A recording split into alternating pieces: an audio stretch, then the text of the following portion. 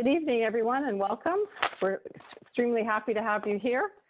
Uh, we're here for ConnectTO, pre-tender information gathering sessions for phase one. So I wanted to, to welcome, every, uh, welcome everybody um, and introduce myself. First of all, my name is Rhonda Singas. I'm a management consultant in the uh, Digital City and uh, Connected Communities uh, section within the Technology Services Division.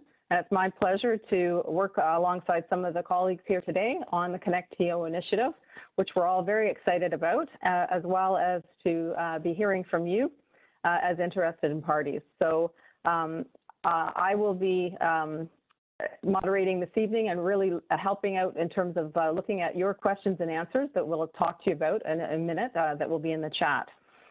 So um, if I can have the first slide up, please, Alice before we introduce the panel, uh, we'll look at a few, uh, I'll say, housekeeping items. Because we are in a virtual environment, um, as many appreciate that because of COVID-19, we've been doing this now for uh, just about 14 months or so.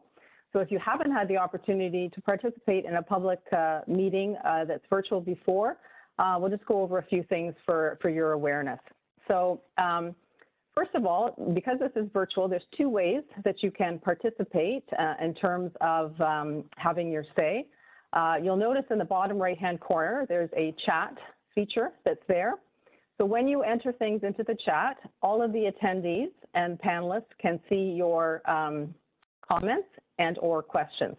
So that's one way uh, you can um, raise a question for a panel member. I'll be looking at that and we will, I will be asking questions that appear there for the, uh, thank you, digital feedback, good evening.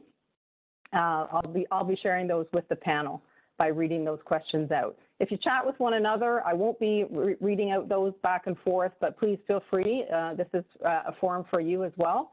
So feel free to do that if you want. Staff will take a look at those afterwards if there's comments related to what we're discussing here. The other way that you can um, participate uh, is to raise your virtual hand. So in the participants list, you'll see, you'll only see yourself and panel members, and that is for privacy reasons. So uh, you, you, don't see all attendees and only um, panelists have their cameras on and are unmuted. So if you want to raise your virtual hand, uh, one of the moderators will uh, call on you and unmute you so that you can um, do your um, uh, ask, ask your question. And then we ask you to lower your hand, uh, your virtual hand, uh, after you have asked your question and it's been answered. Okay, so we'll, we'll go through that a few times uh, as, as things um, move forward.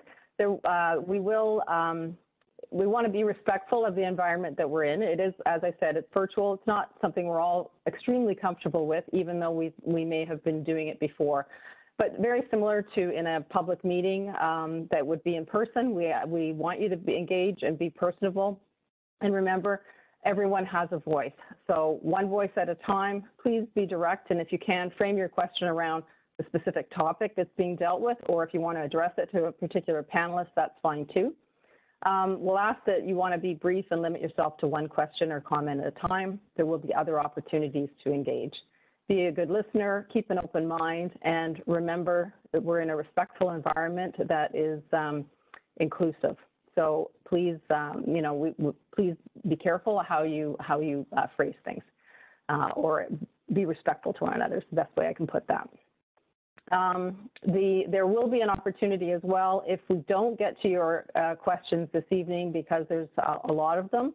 Uh, everyone here will have an opportunity to participate uh, online. There will be a questionnaire that's available um, starting tomorrow that will be open for two weeks. So we, we are welcoming uh, different ways on, on, gathering your feedback. Uh, so with that being said, uh, one more thing, I just do want to make you aware that this meeting is being recorded. Uh, and again, we will be posting the presentation uh, online for future viewing, as well as um, the presentation will be available in an accessible format as well. And in the meantime, it's my privilege to uh, introduce uh, you to our uh, esteemed panel uh, this evening. Uh, so um, uh, as I mentioned, who I was, in addition to behind the scenes moderating is Hamish Goodman. He's also a management consultant in technology services. Um, but our, the people who will be speaking to you this evening would start off with Lawrence Eta. He's our Chief Technology Officer. Hi, Lawrence. Uh, Alice Zhu is the uh, Digital City uh, Connected Communities Manager. And uh, Michelle Anthony is a um, category manager in our Purchasing and Management Materials Management Division, who will be speaking to us about that process. So now it's my privilege to uh, have um, the meeting uh, uh, opened up. Uh, I'll pass it over to um, Lawrence Eta, Chief Technology Officer. Take it away, Lawrence. Thank you very much, Rhonda. Thank you for kicking us off. Uh, hello, everyone. Good evening. Thank you all for joining us and taking the time in your evening to be part of this process, this very important um, initiative that uh, my colleagues and I are looking to uh, move forward. So starting off, I will just uh, say a few words on the land acknowledgement. So we acknowledge the land we are meeting on is the traditional territory of many nations, including the Mississaugas of the Credit, the Anishinaabeg, the Chippewa, the Haudenosaunee, and the Wendat peoples, and is now home to many diverse First Nations, Inuit, and Métis people. We also acknowledge that Toronto is covered by Treaty 13 with the Mississaugas of the Credit. Today, we are here to discuss the digital equity and to look to the future of the type of place we want to live. Reconciliation doesn't stop at the physical world, it extends to our digital spaces and beyond them. With that in mind, I would like to give voice to the words of Alexander Dirksen a member of the Métis Nation who delivered these remarks at Queen's University in November 2018. Alexander stated, There is so much wisdom in these territories and in the peoples who have been stewards of them since time immemorial.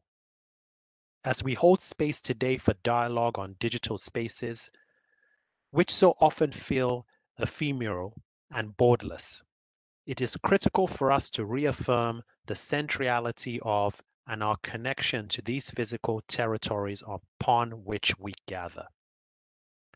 Meaningful change begins with recognition of technological innovation as a fundamental human endeavor. Technology is not a neutral force, nor any digital spaces digital spaces creating safe spaces for all. Instead, mirroring, replicating, and at times exacerbating the real and pressing realities faced by Indigenous peoples and other marginalized communities in physical spaces.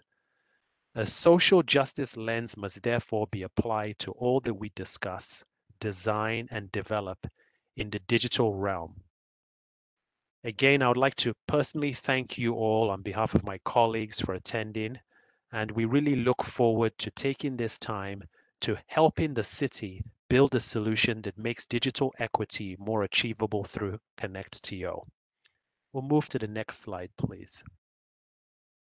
So the purpose of our meeting today, just to provide some background and context, City of Toronto Council had requested the Chief Technology Officer and the Chief Procurement Officer to engage with the city's tech community and also potential end users and anti-poverty advocacy groups in gathering information, conducting these sessions to leverage the community expertise prior to the tender documents being finalized for ConnectTO. Our current situation shows that as part of the ConnectTO Phase 1, the City of Toronto will soon seek and select that third party service provider or providers in order to initiate the internet and network connectivity for those three identified sites in 2021 through the tender and procurement process.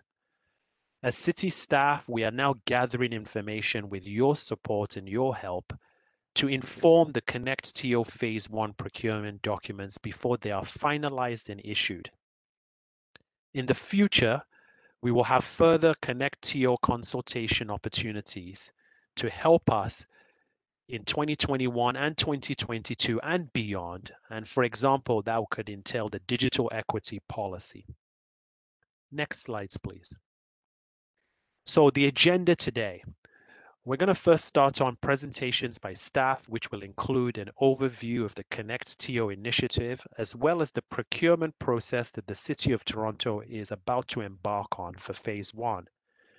There will be an opportunity for you to ask questions about the presentations before we move on to the information gathering portion of the sessions, which will be in the form of staff asking you questions. We also look forward to hearing from you as the community experts to help inform the way we will state the requirements for Connect TO Phase 1 within our procurement process. So that information gathering and then next steps are very, very important um, in terms of the process. So let's hand to the next slide deck, please. Let's move. I'm now going to hand it to my colleague, Alice, um, to take us through the presentation. Thank you, Alice. Thank you, Lawrence, and uh, thank you uh, again to everybody for for being here tonight, uh, for taking time out of your your day to um, to help us um, inform this uh, this phase one approach. So um, I just wanted to let everyone know that um, at, during the Q's and A's, if you want to raise your hand, if you're on the phone, I think there's two people called calling in. Please press star three, and uh, that'll show us that you are raising your hand. So I'd like to give a little bit of a background in how, um, you know, why we're here today. Um, the journey, uh, you know, has been um, really started in 2019 when uh, City Council directed us to look at creating a digital infrastructure plan. We went to the public with consultations that fall and winter, and we created these uh, working principles, including equity and inclusion as a core part of how we're building out this plan. We, we reported to council on this and they gave us the go ahead to continue with this work um, and validated and adopted those principles.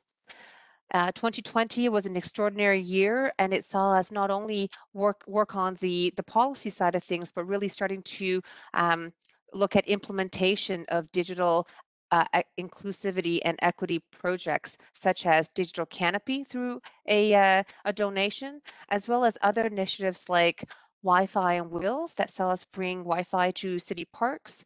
Um, a couple weekends last summer, we managed a, a donation um, to uh, 500 smartphones uh, through the Toronto Aboriginal Support Services Council, as well as really digging into some research into, you know, um, who's underserved and why with five different universities and colleges. So armed with that information and community feedback, we went to City Council um, in earlier this year in 2021 with our report around Connect TO. How do we bring high-speed internet to everyone in the city?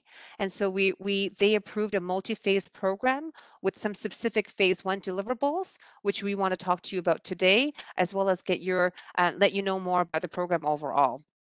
So that's what brought us here today. Uh, when council adopted this in February, we started working on this and um, part of the process, of course, is hearing from the community. Um, there are a few outcomes we're looking for from the from the overall program, including digital equity, reducing internet costs, especially for those who are vulnerable and underserved, economic recovery. Uh, we're looking for long-term fiscal health uh, for the city, as well as maintaining the city's technology leadership, um, both in Canada and around the world. Um, when we looked at the program overall, we realized that there were three main areas of focus and I'll go into them um, right now. So the first thing I want to bring to your attention is that we'd like to, we're looking at how to bring connectivity um, as an outcome for the city as it conducts its business. So when we're building and um, retrofitting affordable housing, thinking about how to embed in, in, connectivity as an outcome at the front, not tacking on at the end. How do we embed more Wi-Fi in public spaces? How do we deploy a dig once policy so that we can um, have an opportunity to add to our, our fiber assets as well as uh, connectivity assets eh, throughout the city? How do we work with um, connectivity in our planning processes because we realized through the research and through hearing from the public especially over the pandemic that uh, connectivity is is is a right for everyone that we want to make sure that everyone has the the ability to connect um, in an in an affordable way Um, the second bucket of work I want to tell you about is the policy development, and we hope to see you more in, in future consultations on that as well. We're looking at, um, you know, how digital literacy fits into this picture because we understand that's not simply, you know, maybe giving somebody a device or helping them get connected. It's really around all of the other things that make that connectivity valuable and meaningful. So we're also looking at um, creating a, the the first uh, digital equity policy for Toronto, um, building on uh, various pieces of work done so far, including data for equity, et cetera. And this will fit well into our digital infrastructure plan um, work overall. And the last piece of uh, work I want to tell, tell you about is about this uh, broadband network, and I think that's why many of you are here tonight. Um, it's about how we can leverage city assets, um, you know, our buildings, our fiber assets, our agency boards and commissions, fiber assets and other uh, building assets, as well as our, you know, sidewalk, our trenches, et cetera. How do we leverage that? Um, to create an opportunity to work uh, with a partner or partners to have the ultimate goal of expanding internet access for underserved Torontonians. And to give you some um, context, we're looking at, for, for this phase one deployment scope, um, we're looking at three locations that are specified in the staff report, as well as one more location likely um, that was brought to our attention through council directive at uh, through the through the council process really looking at how to provide physical network and connectivity in these areas and we'll be evaluating the outcome of these these sites based on physical connectivity based on service management as well as testing out the partnership business model. We'll take this learning um, and it's it's real learning. We're here to really understand how this will work in the community, how this might work for Toronto. And we'll take that along with the other research and assessment and policy development, et cetera, and bring recommendations back to council later on to inform the future phases. So that's where we, we are today. We're here to to gather your thoughts on, you know, how to make this phase one scope uh, procurement work. And from a timeline perspective, um, here we are, get initiating the process and getting the tender documents ready. Um, after that, we'll of course do the site initiation, um, hopefully by uh, Q3 of 2021, with a target report back of the at the end of the year. Um, so and now I'll, it's my pleasure to hand it over to my colleague Michelle, who will tell us more about the the sourcing strategy on this. Thanks, Alice. Okay, thank you. Um, so uh, the city has introduced a strategic procurement approach in terms of how we procure and buy goods and services. Um, this helps us to uh, deliver and try to gain best value for our taxpayers and improve our supplier relationships. So this strategic sourcing procurement approach was introduced back in 2018 when the category management and strategic sourcing team was implemented. Uh, so it's it's still fairly new, um, but we've been actively um, working um, on different procurements, and we've used the NRFP process on several since our introduction into um, the city. Uh, so um, this uh, negotiated NRFP solicitation um, is issued uh, to gain bids and proposals where a procurement needs to be uh, where a procurement needs to be identified and we really look uh, to suppliers to propose solutions and how we can deliver methods to arrive at a desired outcome. As part of the NRFP process, key features and things to, th um, to be aware of is that it's a non-binding proposal. Uh, negotiations are conducted with a top-ranked proponent or proponents. Um, and these negotiations are conducted one-on-one based on desired key focus areas that we believe need additional discussions in order to try to achieve um, a successful outcome.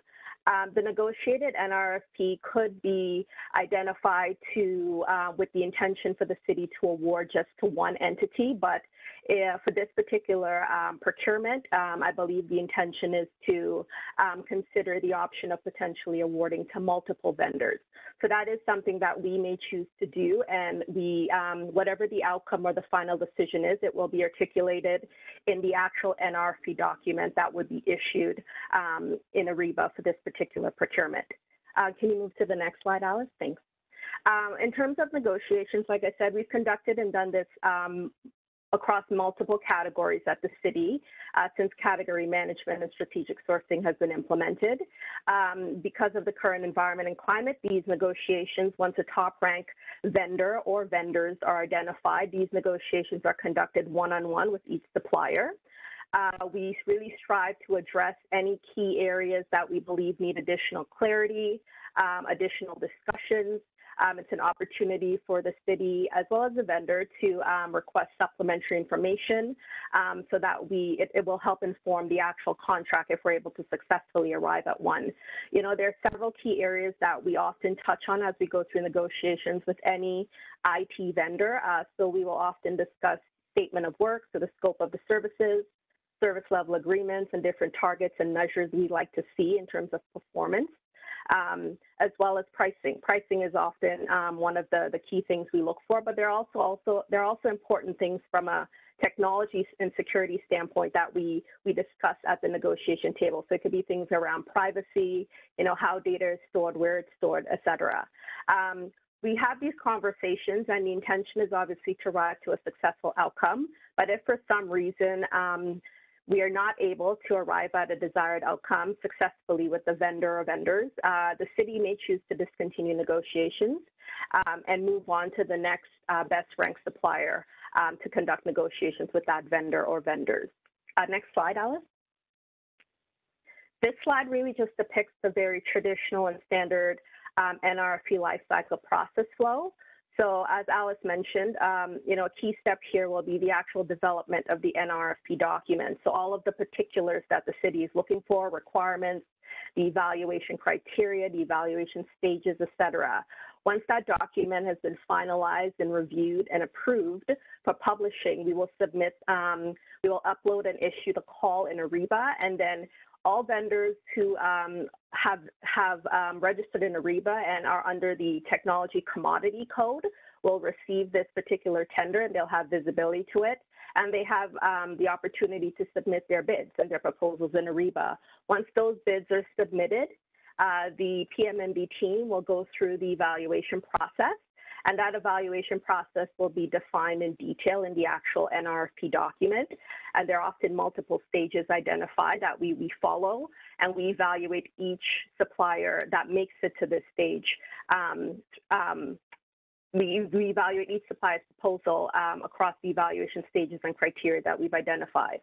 Once we've ranked the vendors and we've identified top ranked suppliers, um, we will move forward to the negotiation stage, uh, conduct negotiations. Hopefully, we have a successful outcome. And then we will move to actually preparing a report to actually award, um, to get approval to award the contract. Um, once we get approval to award, um, we then advise the vendor and then we work towards executing the actual agreement uh, to get the contract in place. Uh, this slide just provides a little bit more of a deeper level in terms of the details of the evaluation stages. This is not um, a standard approach for every single call. Each call could, could look slightly different. Um, it all depends on what we decide and we, we lay out and state in the actual NRFP document. But traditionally, um, the evaluation process will have sub- several stages. The first stage is, is traditionally um, review of the mandatory submission requirements. So these are anything that the city deems as absolutely non-negotiable. They're things that are essential for us to be able to, to work with a particular supplier or suppliers. Uh, once we conduct that mandatory submission evaluation, all the vendors who are compliant will move to the subsequent stage, which is often a technical functional evaluation of different requirements. Then we subsequently will move down to pricing. And then once we've ranked the suppliers, we will move into the negotiation phase.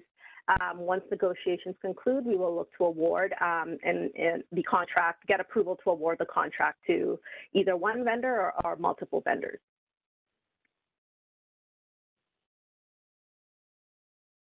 Well, thank you very much, uh, Lawrence, uh, Alice, uh, and Michelle. We appreciate the overview of ConnectTO as well as the procurement process. At this point, we wanted to um, uh, allow for a little pause for uh, folks to uh, ask questions if they have any based on the presentation. So again, just a reminder, there's several ways you can do that by uh, typing something into the chat if you're online.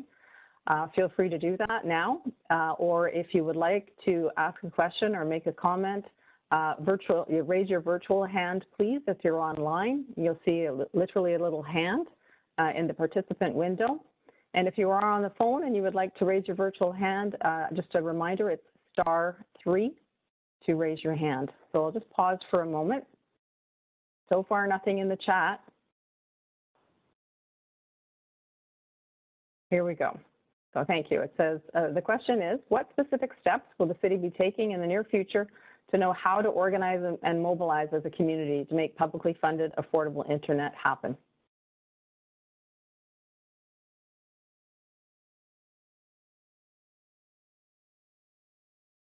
So, um, Alejandro, thank you for the question. It's nice to see you here tonight. Um, hope you're well. So I think the, the question is what steps will we take to to have a publicly funded affordable internet? What we're um, trying to achieve today, which is the the uh, council direction given to us, is to work with um, a partner. So we would, the city will be um, setting out the goals and the mandate of the program. The city will be directing, um, get, you know, after taking in public feedback, because of course we're public servants, we work for the public. We will then direct um, the the the direction of the the program overall but we will not be actually delivering internet to home to the uh, to to the um, businesses and and and members of the public. So the idea here is we will work in partnership. We will develop the the way that this will be done. The city will give input. Eh, the city's input is our assets, etc. And then the uh, the partner will be actually doing the um, internet uh, to home. I hope that answers your question. There is uh, two people uh, with their hands raised. The first person that raised their hand was a call-in user with the number 416. Uh, is that me? 416666. Uh, yep, there you go. You can go ahead and ask your question. Thank you. Sure. Um, my question is about the timelines. When, by what point do you expect to have awarded the contract? Um, it's I ask because it seems that the timelines are very short. Like you would, I understand the city is going to bring fiber to certain buildings. So the contract has to get awarded, the fiber has to get connected, then the the company that you've um, chosen has to connect everybody, and then you want to be reporting to city council before end of year. So, so what are the timelines?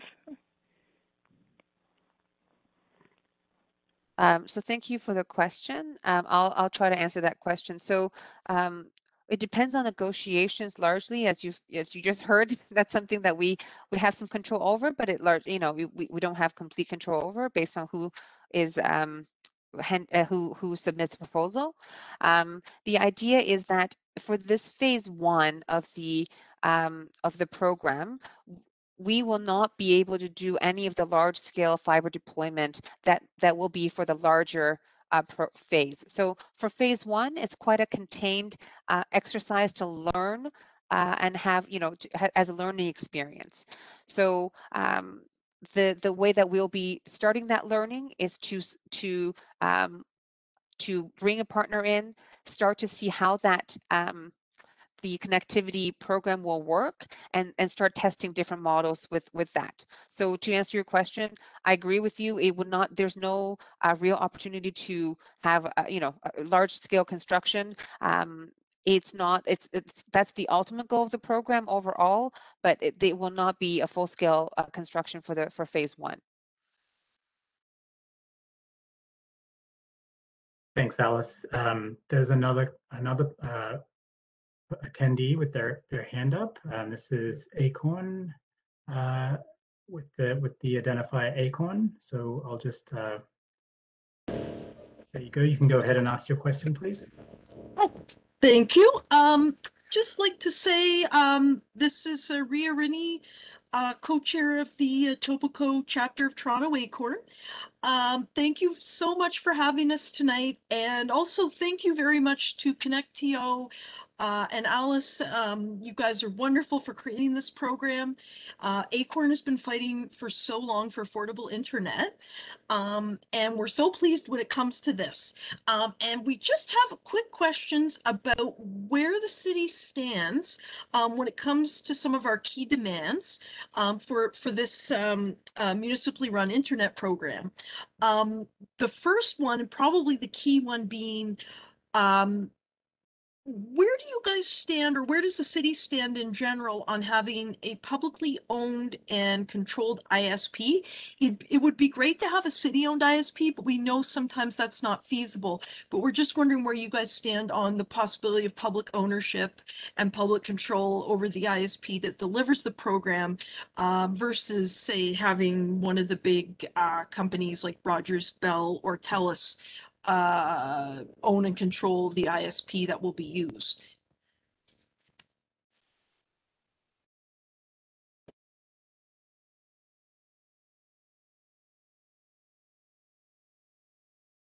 Um, sorry, Lawrence, I don't know if you want to start or did you want me to Um, start? You start, Alice. That's Okay. You start, and I can compliment. Um, it's nice to see you here tonight. Uh, thanks for for for joining and for the question.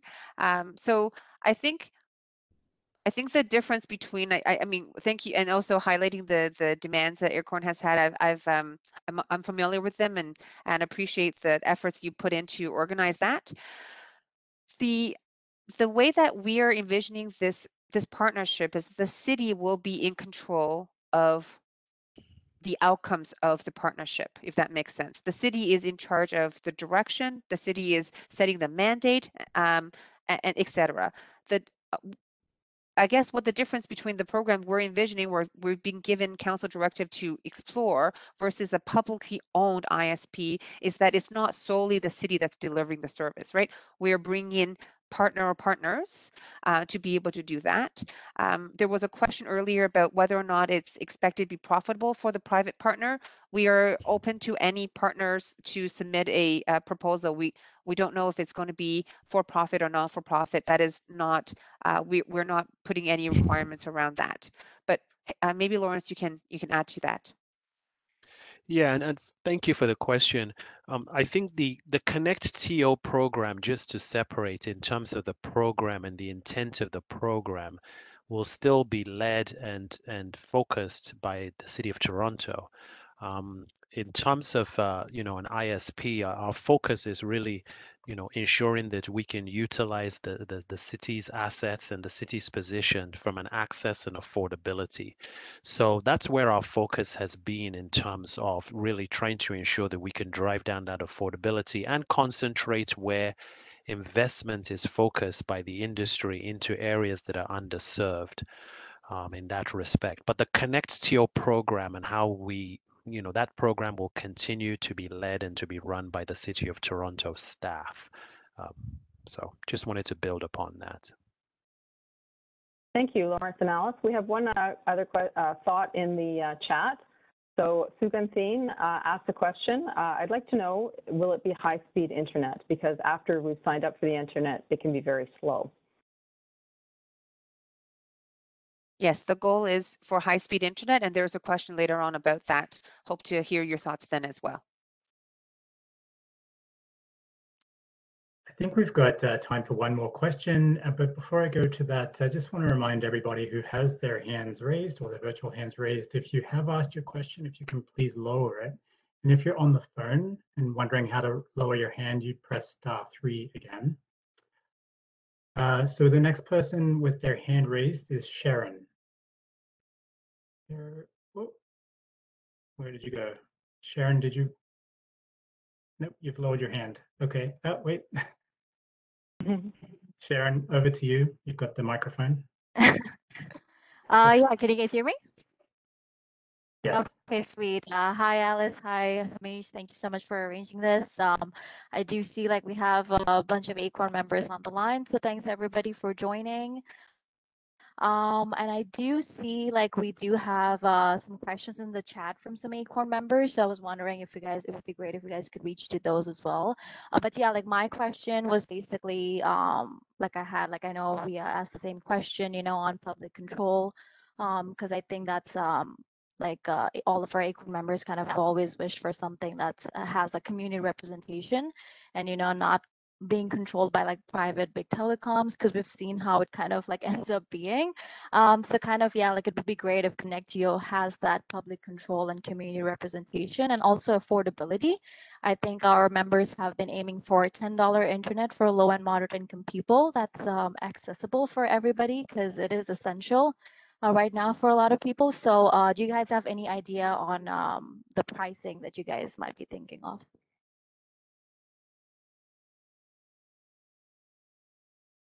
Um, Sharon, um, nice to see you.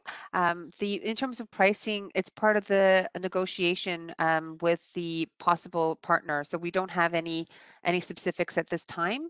What I can say is the the goal is for the whole point of driving the program is for affordability, and there will be some questions later on.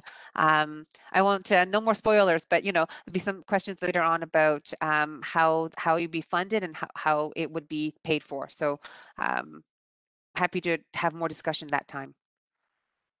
Okay, perhaps we can just wrap this up. There's a couple more things in the chat uh, that I believe we'll, we will likely be discussing uh, in a little bit as well.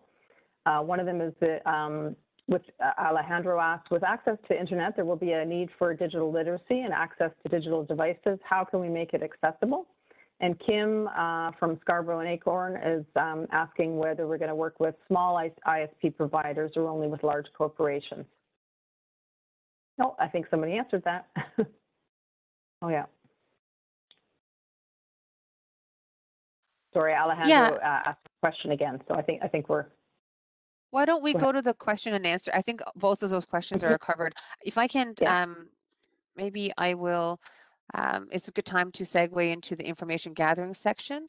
And um, I'd like to just quickly let you know that we'll be asking um, five sort of um, guided questions with a poll and three more open questions. But as you can see here, there's questions here about um, eligibility, um, model that's appropriate for pricing and billing. So I think a lot of these questions will be answered. Uh, we'll, we'll, have an opportunity to discuss them, I should say. Um, the three more open questions, we'll have a little more time for that. And so they are more about your expectations as a potential end user, expectations as um, a tech community member, and any other feedback you can give us on the model. So um, I can um, maybe I wanted to also let everybody know that even though we're, we're going through this pretty quickly and getting everyone's feedback right now, we highly encourage you to go to our website and answer the survey at your own time. It'll be up starting tomorrow and it'll be up for two weeks until June 4th. So there it is, right on cue. Thank you very much. Um, the uh, the link to our webpage is there, and we'll have a survey there. You can give us more thoughts. You can um, give us more information, and also give us input into these questions again. So looking forward to that as well. Um, great. So the first question um, is about you know entities to deliver this model. This has come up already. Um, we just want to re reiterate that we are not positioning the city as an ISP at this time. That's the, that's not the council direction we've been given, but we are looking to drive um, filling gaps of, of affordable high-speed internet in underserved areas. That is absolutely our goal. So um, well, I wonder if we can start the, the polling, if it's open already.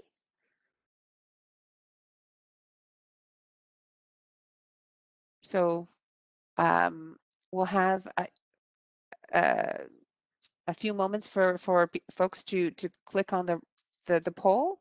Um, and Alice, if you for this to... one, we have a minute and a half, so um, perhaps we can read um, the, the items out loud. There are some folks on the phone, you, you won't be able to vote uh, on the poll, but you could hear them. Right. Do you want me to do that, or would you like to? Sure, go ahead, Rhonda. Okay, the first item uh, in answer to the question is uh, A, knowledgeable subscribers, students, and volunteers from grassroots organizations and on-the-job training organizations.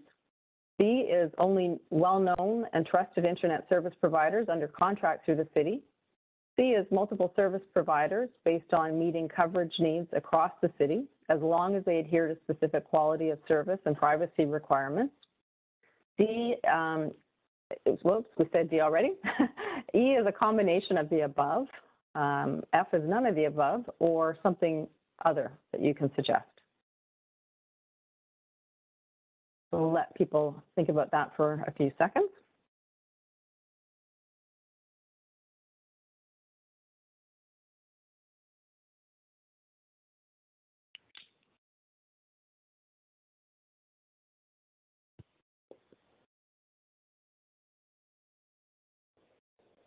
Okay, great. Um, I wonder if it's uh, possible to show the results of that poll to everyone.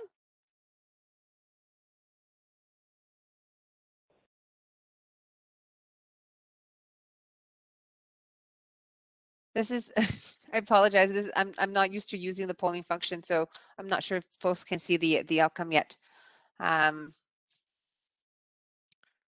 and so one of the questions was um, in the chat. I, I recall uh, was about um, is the city working with small ISP providers or only art, large corporations exclusively? And so I hope you can see from the question that we're open to all of those options.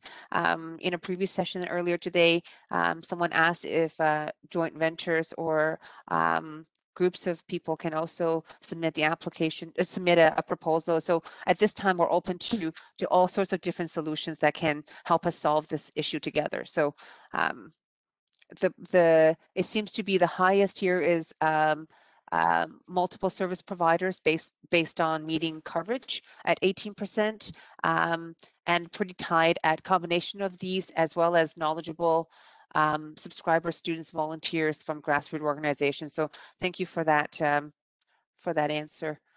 Um, if there's anyone who um, put in uh, other. I don't know if anyone wants to either put their hand up or put it in the chat so that we can um, have a fulsome understanding of this item.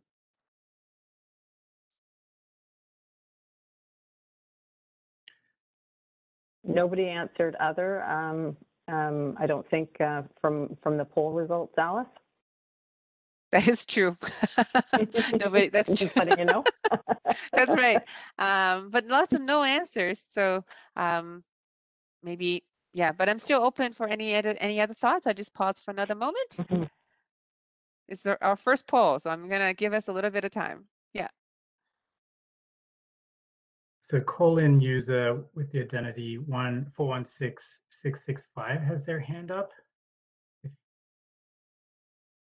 Oh, um, just bear with me one moment. Hey, two of the questions were identical, A and D, so you should add the results from those two. Yep, that is true. Um, Thank you. We will apologies that on that. Yeah, no, it wasn't a trick question. It wasn't. Uh, it wasn't one of those things where are you paying attention? No, you're right. So that that actually brings it to uh, 24%. So almost a quarter of you have answered. Um, you know, your preference for knowledgeable subscribers, uh, students, volunteers from grassroots organizations. Um, so thank you for pointing that out. Somebody's paying attention. That's good. Please keep those coming. So Alice, I think we've got time for one more question and then we need to move on. So the next uh, person with their hand up is, is Sharon. So uh, Sharon, over to you. Do, do you have a question um, to ask? Oh, uh, no, I think uh, it was from before, but I can just repeat oh. one of the questions uh, from the chat that one of our members just wanted to ask. Uh, I think it was Rama Fayez. It was uh, Toronto Community Housing in partnership with Rogers offer $1.10 internet for its tenants. Of course, it is very slow internet, but better better than nothing. So can the city offer such a service to all people under the poverty line with a better speed, also offering a cheap computer or tablet? because I do know a lot of our members are also looking for devices from the city. So any thoughts on that? Yeah, and and so that's something we definitely are thinking about. A lot of the wraparound services we're thinking about, um, and again, that depends on negotiations with the solicitation that we're about to put out, right? Um, we don't, I don't know exactly what the the the cost is going to be there's a question coming up about the the model for um, how to pay for this and who should pay for how, what, right?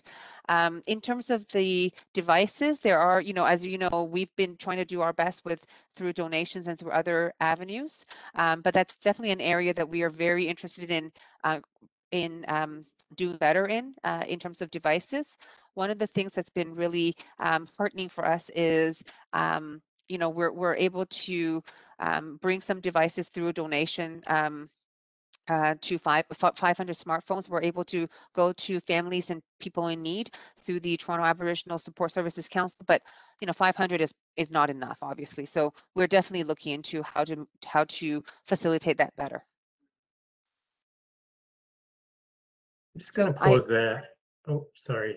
Rhonda. No, go ahead. I, I was just going to let let you know um, the that the time is up for that question, and if if there's time afterwards at the end, we can circle back to it. But uh, just in the interest of keeping it moving.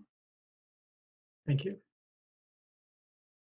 Great. Um, so question uh, the que the second question we'd like to, to talk about now is you know, which models are appropriate to fund uh, this network as you know as you may know um, we don't have any approved capital or operating budget allocated right now to implement and operate the, the broadband network. Our approach is to um, offer city assets as well as um, agency boards and commission assets through agreements uh, into this into this partnership uh, so that you know the community get can get the benefit from those assets through that partnership. So innovative and sustainable funding models will be required for us to ensure uh, fairness of providers uh, for that affordable, reliable service.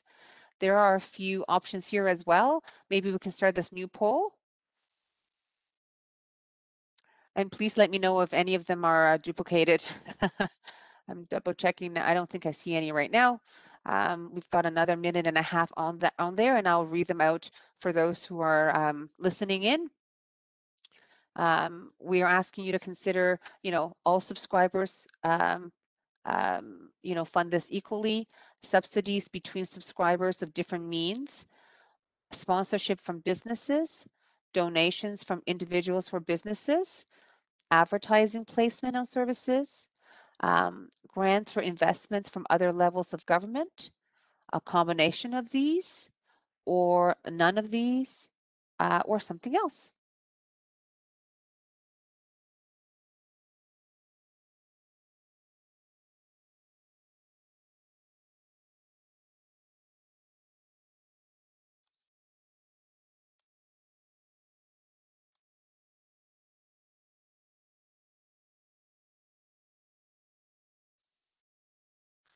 Just about 20 seconds left for that uh, for that poll, and then we will close that and have a, a small discussion, just like last the last question.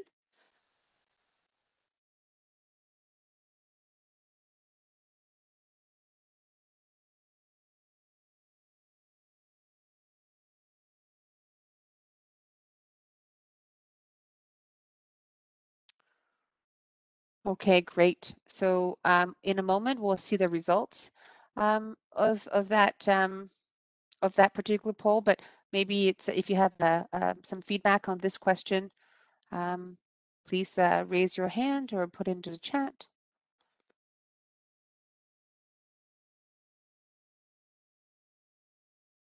So we can see that 41% um, of you um, overwhelmingly have said uh, a combination of, of the different uh, options uh, of the specific options, the top one is uh, subsidies between um, subscribers of different means. Um, grants or investments from other levels of government is also uh, quite a popular one at 19%. Um, all subscribers equally is at 13%. Um, and there are others who there are this time I've noticed that there, people have said other and they may or they may have elaborated and uh, if, if it's that's you, please go ahead and, and let us know about that if you wish publicly. Um, otherwise, we can see the poll um, and, and still record your input. So we have um, Rama with their hand raised. Um, so Rama, if you'd like to go ahead and ask your question, please. Uh, do you hear me?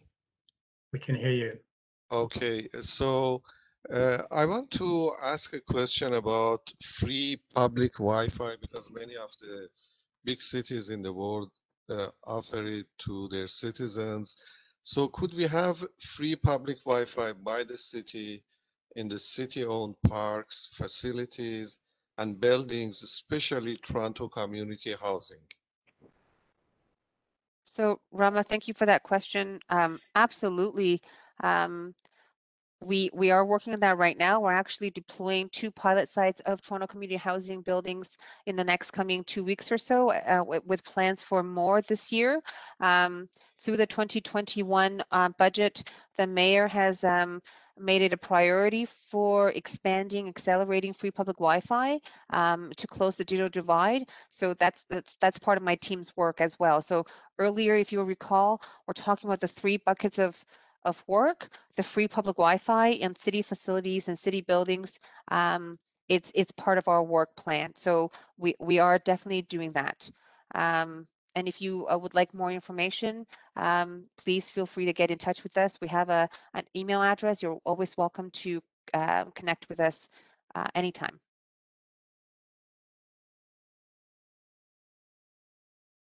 Hi, Alice. Um, um, sorry, Barry has a, a question in the chat, um, and I'm sorry, I, I think it, his hand may have been missed earlier. So his question is just around the sites. Why is uh, ConnectTO not available in Etobicoke North? Uh, he's asking if the infrastructure could run along the Finch LRT to potentially include Etobicoke North. So um, Barry, that's a good question. Um, we did look at specifically Finch LRT uh, construction. Um, I, I don't want to disappoint you, but at, when we explore that option for the part of construction that's going on right now, they're already at a high percentage of design completion. So it was it's not appropriate for us to um, intersect with that process right now. But but certainly there are other opportunities related to that construction in um, from a you know from the city uh, perspective as well. So we we are definitely interested in pursuing options.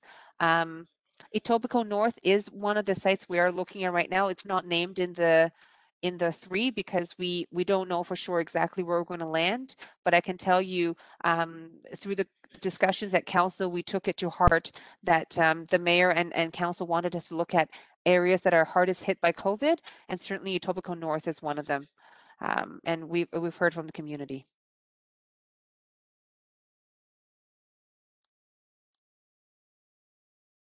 Um, so I see a couple of hands raised. Barry, I see yours raised now. I don't know if uh, you have anything further to add. I'll just unmute you.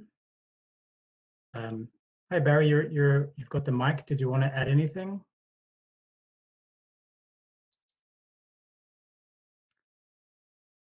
Okay.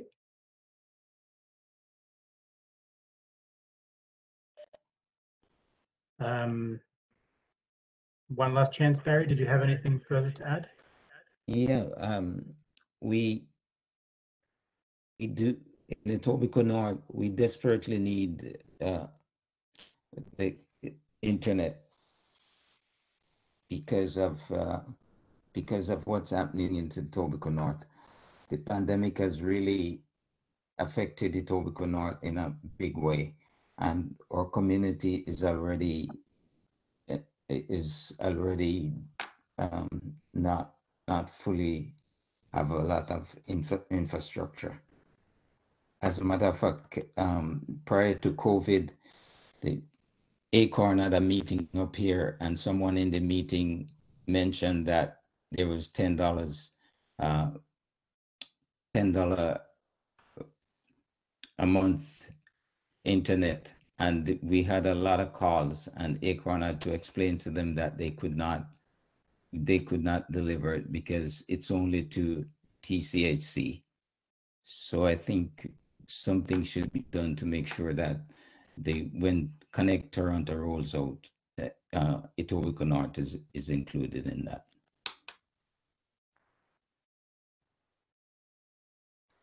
Absolutely, Barry, and um, that, that's that's that's our intention to look at Etobicoke North. Um, it's also our intention through this learning process, you know, from phase one to look at the, you know, uh, many other areas of the city, not just this, but we need to have the learning now so that we can go back to council and ask them to approve a, a new approach. Um, the next steps, I should say. Uh, I just want to advise everyone, we've, we've hit the time limit for this question. There are still two hands raised. Um, uh, so I'll, I'll, I'll leave it uh, to Alice to make the call. Do you want to take one more question up on this question or do you want to circle back if there's time at the end? Let's uh, let's move on to the next question. We may be able to answer them, and then uh, we definitely Okay. want to circle back and we we- yeah we we definitely want to hear from everyone. Um, Okay. So the next question is sort of around the types of services this broadband network uh, would offer to its end users. Um, and so we are, the question is around the, uh, you know, services that are comparable with those broadly available in the markets required. Uh, we know that, we've heard from the community around that. For example, um, 50 uh, megabytes uh, per second, um, megabits per second is a minimum um, internet speed. But we would like to ask you if we can start a new poll. Um, you know, what what is the what types of services would, should should we consider? Um, DSL, um, fiber to home, uh, building and public Wi-Fi hotspots, uh, like the way that uh, retails retailers offer in in maybe restaurants, hotels, or stores. Um, a a wireless solution like high-speed wireless internet, um, a mobility offer, a combination of all these, another something else. We have about a minute left on that poll. Um, I just want to recognize that there are some questions, there are some comments in the chat um, around um, defunding the police or taking away from the police budget. Um, I just want to let you know that we've noted those um, as part of the consultation. And Alejandro, I I see that you said you're outdoors right now and using your cell phone gigabytes, which can can be very expensive. Um, and uh, so yes, we are looking to um, um, push out more pub free public Wi-Fi um, in on city facilities.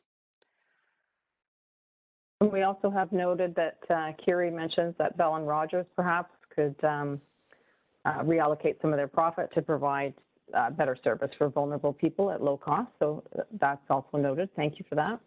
Absolutely. Yep.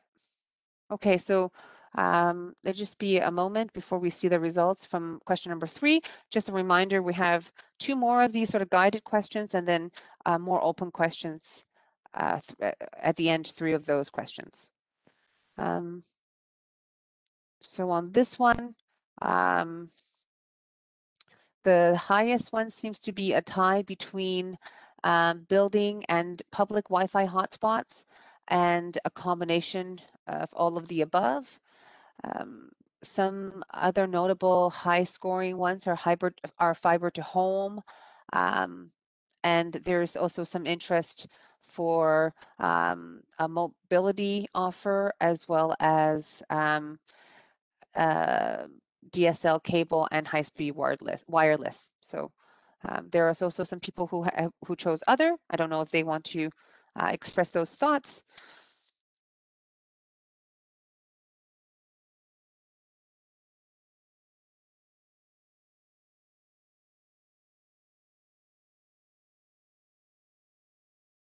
So um, Sharon has her hand raised. Oh, uh, Sharon, did you have a question or a comment? Uh, I don't know why it keeps saying my hands raised. Uh, but uh, yeah, no, I didn't really have any questions uh Okay. here.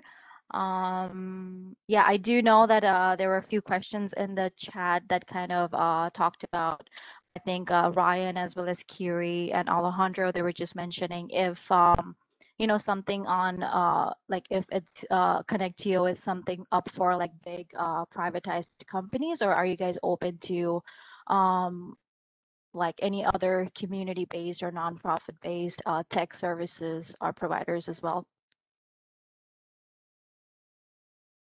We're we're absolutely open to to any um, any proposal, um, including those uh, that are community based. We've been looking at that ourselves as well in terms of um, you know what makes sense. One of the directives that we want to talk about at the end is what kind of business model um, it should be considered through a feasibility, desirability, and sustainability view. So absolutely, all of those models will be will be reviewed.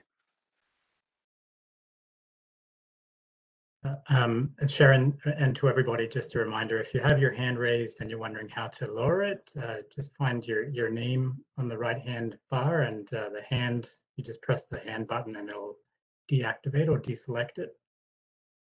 Um, I think we have time for one more question for this uh, one, uh, for this one, and Ike has their hand raised. Ike, you can go ahead and ask your question. Thank you. Um, thank you for having this meeting. Um, yeah, I, I, selected other um, only because I, I, think maybe this has already been discussed. I uh, joined a little bit late, and I apologize for that. But um, there, there are some significant um, bringing internet to someone's building or or these wireless solutions or the, the options that were prevented. There are still some barriers to actually accessing that. Uh, accessing that in addition to some barriers to education. Uh, for instance, providing like an open wireless solution, uh, there would have to be some education around how to, you know, use a public network and et cetera.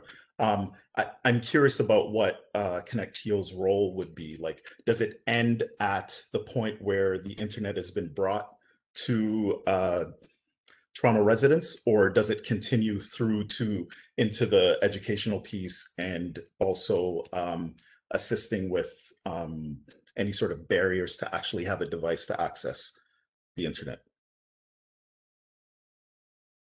Thank you. Um, thank you, Ike, for the for the question and for your you know your very informed thoughts. Um, it's absolutely our intention to um, to do the latter, I suppose, uh, which is to provide, um, you know, um, provide the the other means around digital literacy, digital fluency, around support, so that it's it um, so that it's not just a matter of sort of connecting somebody or giving them a device, etc. So um, part of the uh, the outcomes from the digital canopy project we've done one of the pieces we're most proud of, in addition to providing free um, public Wi-Fi to many people in the city, is that we were able to um, uh, start a mentorship program for 15 youth uh, who live in the areas of the buildings that we that uh, have been um, that, that were selected for digital canopy and they're going through um, training um, to to become um, to become educated in in network services, et cetera, so that they can bring that knowledge into the community and help the community use the the service. So um, we're also, you know, this is coming from uh, leadership right here in the city. Um, Lawrence and a lot of our senior management team are mentors to the to the youth, which is a event coming happening on uh, June 16th, I believe. It's a 16 week program um, that's going to bring a lot of knowledge and a lot of um, um, you know, support to to the youth through the um, this program, as well as we want to make that an ongoing um, uh, ongoing program if we can with the you know with funding. So absolutely, in other words, it's our it's our intention to look for those opportunities. It's our intention to um, uh, you know um, make good on those opportunities.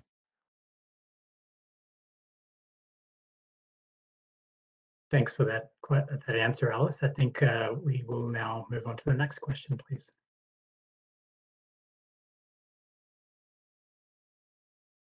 So question number four, um, we can start the poll, is, um, you know, what models will be appropriate for end user service um, pricing and billing?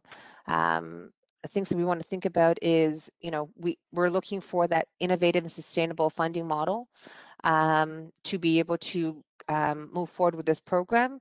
Again, the city's uh, perspective is let us use these public assets, like your assets, um, through us to be able to work with a partner to bring this uh, to bring the service to to people who need it.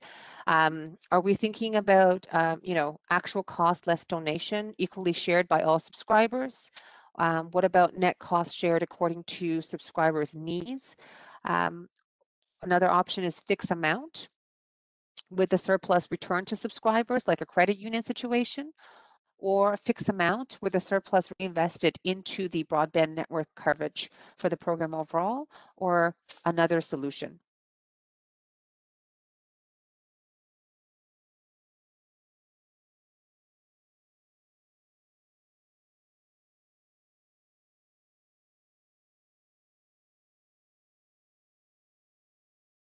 So um, while that poll is uh, taking taking time, I want to recognize um, uh, Alejandro's note about access to to high-speed, low-cost internet.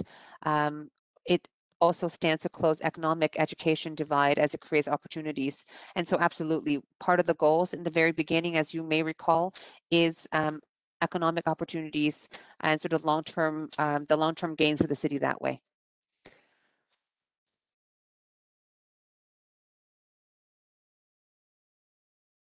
Okay, great. Um, and in a moment, we'll see what uh, what everybody thought of that.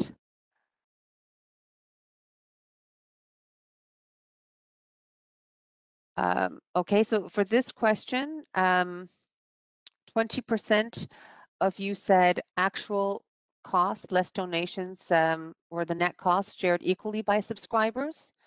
Um, the next, uh, the next selection is fixed amount with surplus funds returned. Uh, sorry, with surplus um, amounts uh, reinvested, grow the network, um, as well as other uh, some support for the other two options and some support for other. So I, I wonder if anyone wants to talk about other or give more thoughts about why they um, they support one of these uh, options.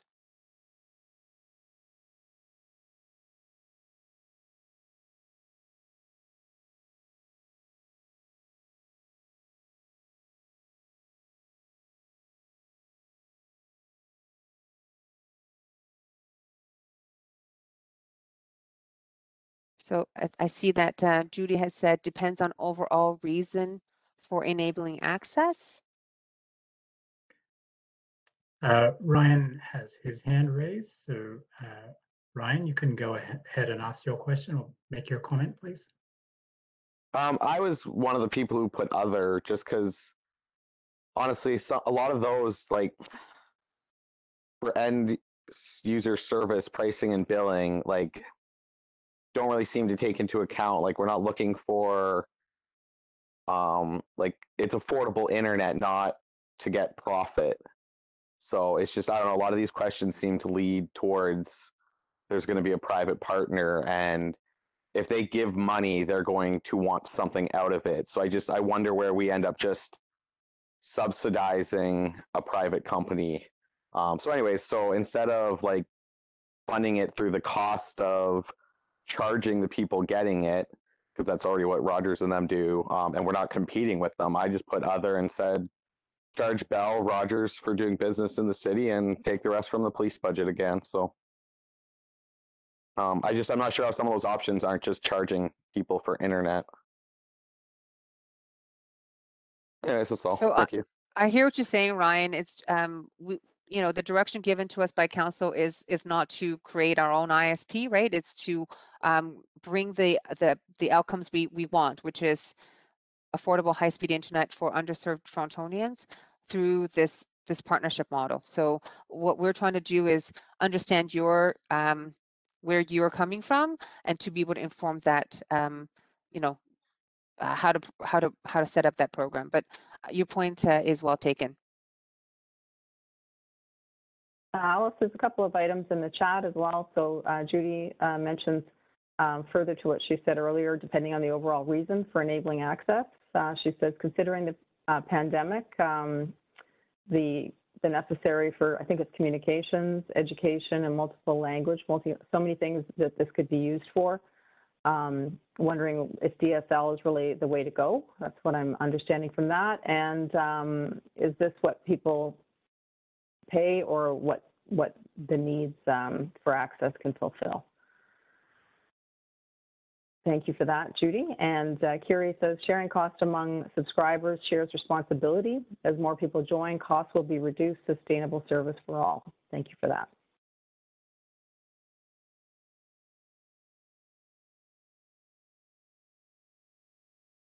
Yeah, we've taken note of those those uh, points. Thank you very much. I feel like the um, the Acorn events I've been to are much more energetic, and I I feel like we I wish we had a chant or two, but Yeah, uh, we need a chant. we need but um and but thank you for your patience and for uh for for contributing. I we really appreciate it, and please continue to do so.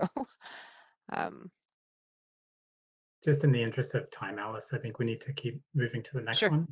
Great. So um, we can always come back to uh, more thoughts on this.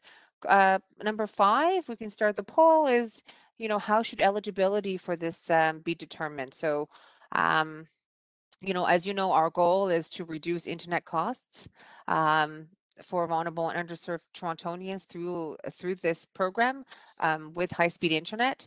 So, you know, what some things we we want you to tell us if we should consider honor system. So individuals and families who uh, who self-declare uh, need, um, similar to food banks. Um, designated groups only. So, um, you know, prioritizing um, individuals, and families recognized as in need by one or more um, social uh, services entity um, neighborhood based. So everybody in an area, you know, a, business is a neighborhood where the broadband um, network operates may receive end service, end user services. Now the funding, the, the payment is the previous question. So that's a separate issue. Um, a combination of these um, or something else.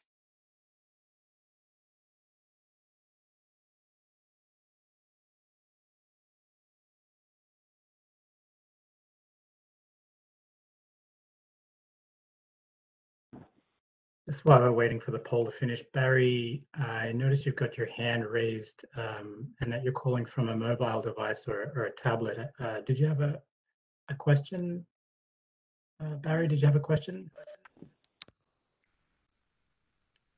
Or if you're just wondering how to lower your hand on from a mobile device, you press uh, star three.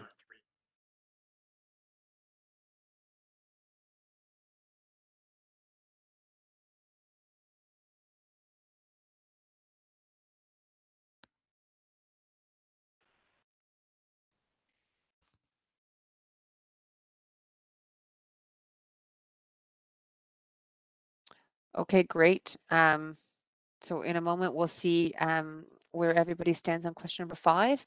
And I just want to reiterate um, that I, I hope you, you, everyone knows that we are certainly taking into consideration Acorn's demands, and that's going to be part of how we consider the larger program overall. I don't want you to think that, you know, the city is- ignoring the, you know, the, um, what you've put forward. Um, but I do appreciate you uh, still taking the time to go through it, go through this process with us and giving us your thoughts because we we very much value that those uh, those considerations.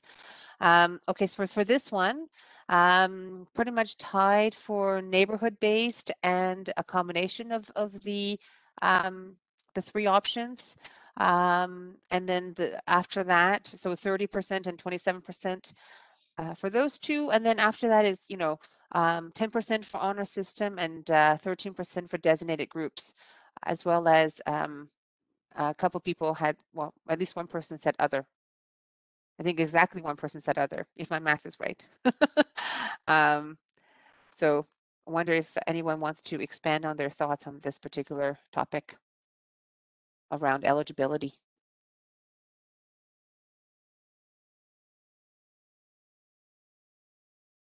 Uh, call-in uh, person has a question with the number 416665. You can go ahead and ask your question, please. Hey, I'm the one who answered other. My point was this. If ConnectTO is to become self-funding, since the city has no funding for it, and if it's to also provide below-cost service to those who need it, then it needs subscribers who can afford to pay above cost so that one subsidizes the other. So the network should welcome subscribers from all walks of life.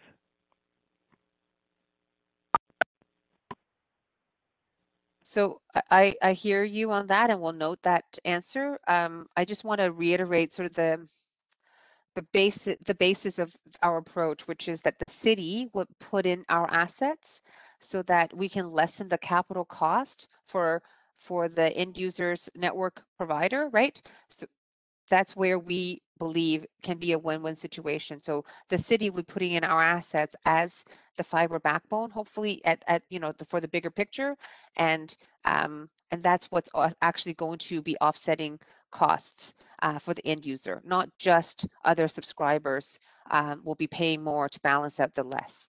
If you can see, um, see my hands. That's the idea is that we would be, you know, the city will be able to enable um, um, lower prices by putting in our assets as um, as input.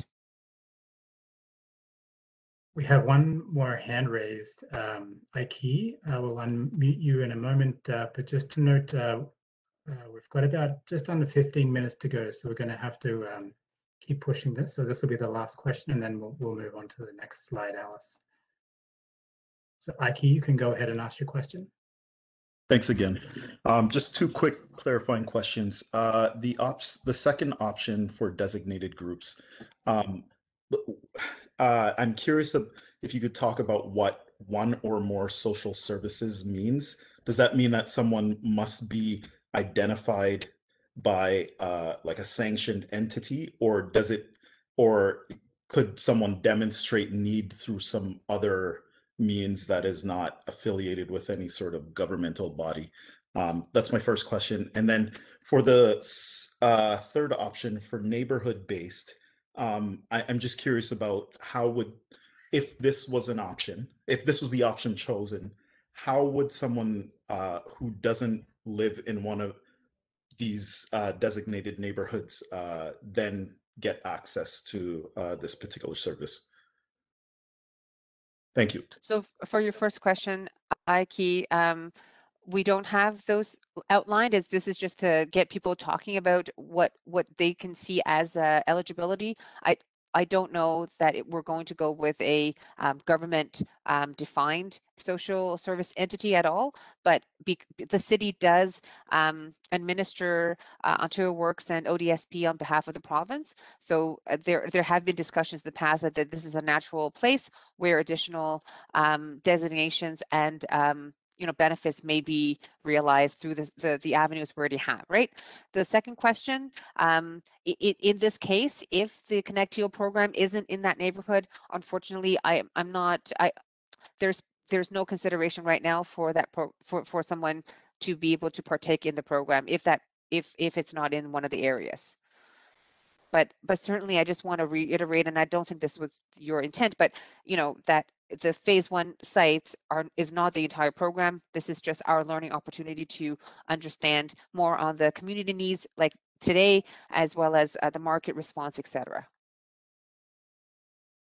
So um, Hamish is going to give me the look, but I'm going to move on to the question number six, um, which is more of an open question. So, you know, what are your, um, you know, expectations as a potential resident or business end user?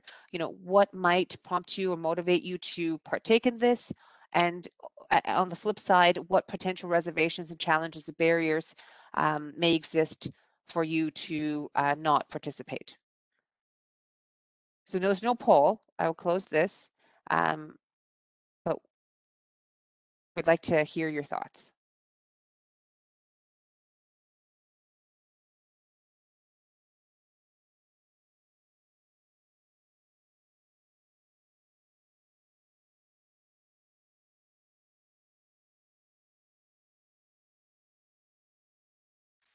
So in the so, chat, uh, Alejandro writes reliability is very important. Excuse me.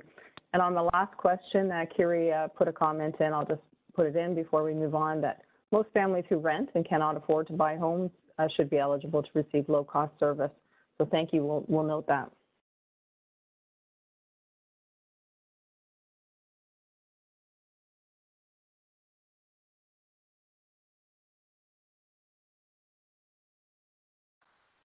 Okay. Um, so maybe I can move on to um, the uh, the seventh question, um, which is, um, you know, as a community tech member, I know many of you are wearing multiple hats here tonight. Um, you know, what would be your um, your um, thoughts around types of infrastructure access that you envision will be required to deliver this initiative? uh, what constraints, challenges, and risks might arise that you want us to know about, um, and what immediate actions, um, ongoing support, as well as policy decisions from the city would be required or helpful for implementing um, or expanding the, the broadband network from your perspective.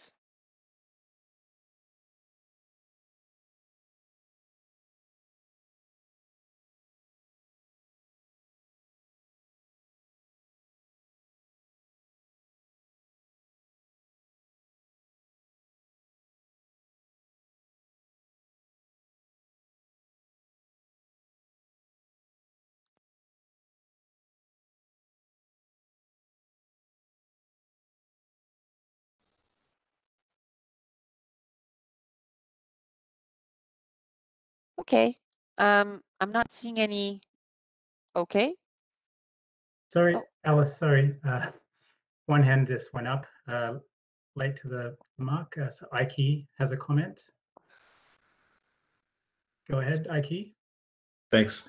Uh, apologies for my kids in the background. Um, so in, Oh, for Oh, I won't be able to question for question two, um, uh, uh, infrastructure. So we're we're bringing uh, the internet to uh, residents of the city, um, but I, I feel like there how it gets into homes, uh, whether that's through a wireless system, um, the the infrastructure within like buildings, uh, for example, um, like older wiring, cabling, uh, or even just signals being able to pass through uh, um, different uh, construction materials.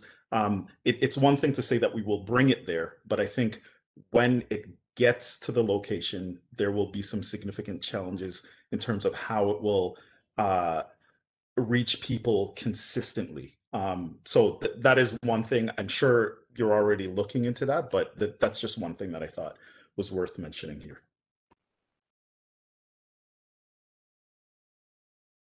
awesome. Thank you, Aki. Um, Sylvia has said that she'd like to take some time to think about this one, um, uh, and that she's she's this is music to my ears, which is that she will fill it out in the link. Uh, I'd like to just encourage everyone to consider filling out the survey as it comes up tomorrow. It'll be up for two weeks.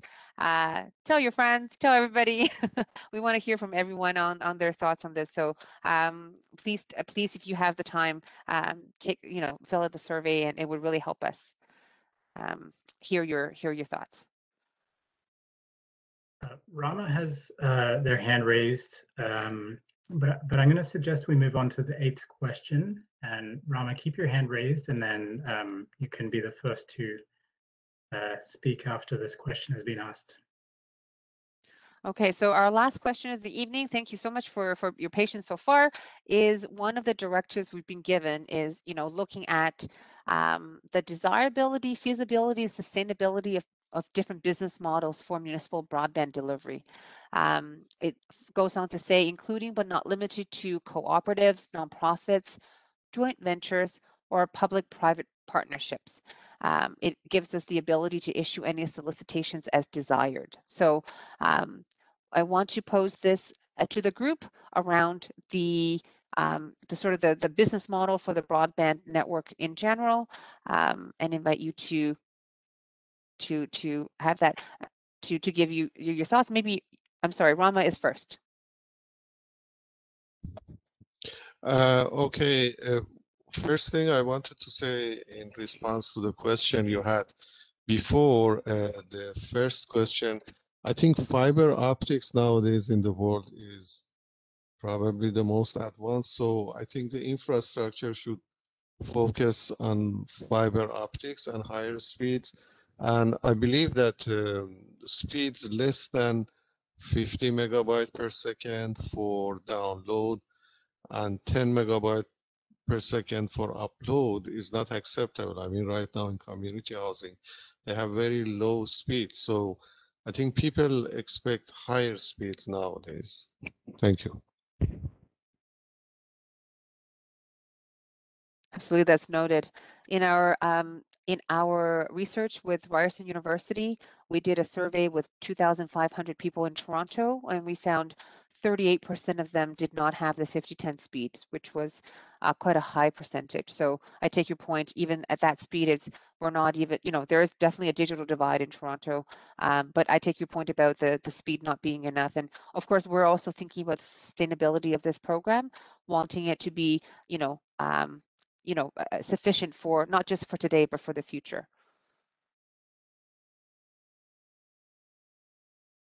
We have a few comments uh, in the chat. Uh, uh, Judy mentions that ads are predatory. Um, Ruth suggests consulting the network of the existing companies. And there's a thought around joint ventures as uh, not being, um, being, it's as skeptical of private uh, public partnerships as it is, so not like a venture capitalist arrangement. so Ryan, we can chat more about this um, as well. But we what we mean by joint ventures is um, is not a, a venture capitalist um, um a situation like uh, um, program. So it's it's something that we've done with, um, for example, other sort of utility sort of assets.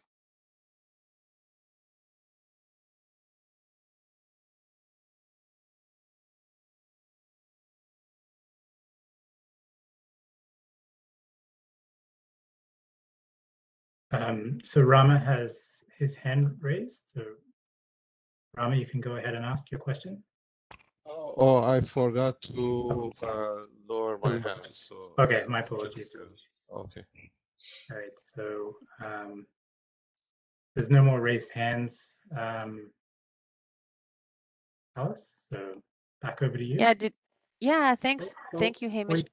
Sorry, one oh, just came in. It's cool call-in user 416665. Go ahead. Oh. Since you can hey, go ahead and speak. So, um, how many trial buildings are we looking at for phase one? Like the city is going to bring fiber to a building to make this happen, correct? So how many buildings are you thinking? Obviously, you haven't decided, but in general terms, how much? So we, we don't have any specific numbers. It also depends on how the negotiable RFP um, turns out, right? Um, but in, in the idea is it's not going to be when we talk about the neighborhood, it's not going to be the entire neighborhood as defined, um, you know, in the planning sense of neighborhoods. So it's going to be a specific area, um, maybe a, a block or a, a, cluster of buildings for each of the um, three to four sites.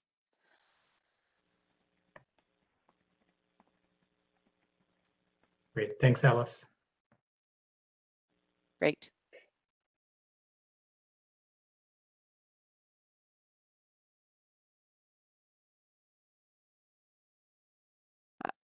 I don't see any more hands either. I don't see any more comments on the um, on the chat. Um, does I, we have one minute left, so I wonder if anybody have any other last thoughts they want to put into the chat. Um, we'd love to to hear from you. Um, I also just want to, um, you know, one more time, um, invite you to visit our webpage, invite you to um, email us, as well as um, you know, fill out the survey uh, on your own time or uh, encourage others who may be interested or who may have, you know, some thoughts on this to, to fill it out themselves. For those on the phone who have called in, um, thank you for calling in. Um, you can't see the website. Uh, you can email us at digital feedback at toronto.ca and we can send you that link. That's digital feedback at toronto.ca. Thanks, Hamish. Um, I just want to quickly personally thank everybody for taking their time. It's really nice to connect with you. And I'll hand it over to, to Lawrence, our, our Chief uh, Technology Officer. Oh, thank you very much, Alice. And uh, thank you everyone for participating. Um, it's been great to listen to the feedback and have your engagement. Also to thank all my colleagues um, who've invested a lot of time to make this happen. Thank you so much and, and, and working so diligently. So your your feedback in terms of the public is so important to helping inform us. And um, I hope that through here, um, we'll continue to receive your uh, feedback um, through the um, email site that, uh, that Alice has mentioned. So with that, um, have a good evening and uh, hope everybody uh, enjoys the uh, wonderful weather that's outside. Thank you.